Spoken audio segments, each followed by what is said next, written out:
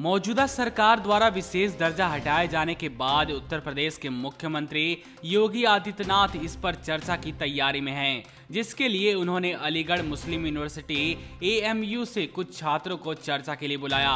परंतु देखने वाली बात यह है कि छात्रों ने उनका न्योता ठुकरा दिया। दरअसल मुख्यमंत्री योगी अनुच्छेद 370 और अन्य विषयों पर चर्चा करने की इच्छा ज़ाहिर की है, परंतु छात्रों ने इस कार्यक्रम में शामिल होने से मना कर दिया है। सूत्रों के मुताबिक, पश्चिम यूपी के तीन जिलों के कुछ शिक्षण संस्थानों के स्टूडेंट इस कार्यक्रम में हिस्सा लेने के लिए शुक्रवार को लखनऊ पहुँच गए। कार्यक्रम शनिवार को लखनऊ में आयोजित किया जाएगा।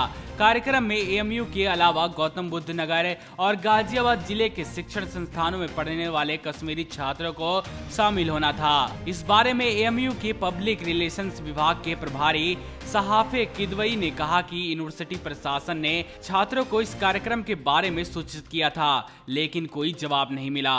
किदवई ने शुक्रवार को द इंडियन एक्सप्रेस से बातचीत के दौरान कहा, हमने मंगलवार को छात्रों को इस कार्यक्रम के बारे में बताया। हालाँकि कोई इसमें हिस्सा लेने के लिए आगे नहीं आया।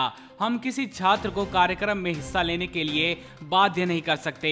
दूसरी ओर इंफॉर्मेशन डिपार्टमेंट के डायरेक्टर शिशिर सिंह ने कहा, करीब 100 कश्मीरी छात्र शुक्रवार को लखनऊ पहुँचेंगे। उन्होंने बताया, वह तीन जिलों के विभिन्न संस्थानों से आ रहे हैं और शनिवार सुबह 11 बजे सीएम आवास पर होने वाली चर्चा में हिस्सा लेंगे। कश्मीर के अनंतनाग के रहने वाले एएमयू के पीएचडी छात्र मुबासिर शाह ने कहा जम्मू कश्मीर का विशेष दर्जा हटाए जाना सीएम के अधिकार क्षेत्र में नहीं आता। अगर सरकार में से कोई इस मुद्दे पर हमसे चर्चा करना चाहता है तो वो या तो प्रधानमंत्री होने चाहिए या गृह मंत्री देखा जाए तो छात्र का कहना भी सही है, क्योंकि विशेष दर्जा हटाए जाने के पीछे गृह मंत्री अमित शाह और प्रधानमंत्री ही जिम्मेदार हैं। तो ऐसे हाल में इस विषय पर चर्चा करने के लिए इन दोनों का उपस्थित होना अनिवार्य हो जाता है। खैर, अब देखना यह होगा कि क्या योगी सरकार छात्रों के इस रवैये पर नाराज़गी जताती है या उनके निर्णय का सम्मान करती है। परंतु यहाँ एक बात गौर करने वाली है कि घाटी को लेकर लिए गए फैसले के इतने दिनों बाद खास तौर पर उत्तर प्रदेश सरकार इस पर चर्चा क्यों चाह रही है। नमस्कार नेशनल दस्तक अपनी आर्थिक जरूरतों के लिए हमेशा से यूट्यूब एड्स पर निर्भर रहा है। हमारी काफ़ी वीडियोस को यूट्यूब की तरफ़ से डीमोनेटाइज कर दिया जाता है, जिसके चलते हमें एड्स नहीं मिल पाती। इसकी वजह से हमें आर्थिक समस्याओं का सामना करना पड़ रहा है। हमें आपके साथ की सबसे ज़्यादा ज़रूरत अब है। पैट्रियन एक ऐसा प्लेटफॉर्म है, जिस पर हम और आप बिना रुकावट जुड़ सकते हैं। इस प्लेटफॉर्म पर आप हमें सीधा फंड कर सकते हैं, जिसका मतलब हुआ कि हम आज़ादी से पत्रकारिता कर पाएँगे। आपसे सीधे फंडिंग पाने का यह भी मतलब हुआ कि हम नैतिक रूप से आपके अधीन हो जाएँगे और आपकी आवाज़ को और बुलंद कर पाएँगे। आप पेट्रियन पर मात्र दो डॉलर करीब एक रुपए प्रति माह से हमारी सहायता कर सकते हैं।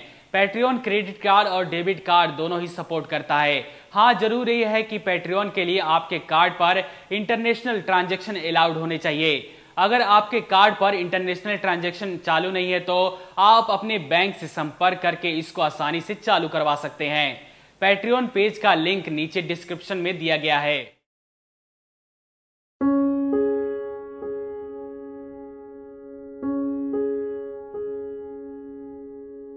नेशनल दस्तक को देखने वालों से अपील है कि वह नेशनल दस्तक के सपोर्टर फॉर्म को भरें ताकि हम सीधे आपसे जुड़ सके। नेशनल दस्तक की आपसे गुजारिश है कि अगर इसको बचाना चाहते हैं तो नेशनल दस्तक को सब्सक्राइब करने के लिए रेड कलर के सब्सक्राइब बटन को दबाएँ, फिर बेल आइकन की घंटी दबाएँ।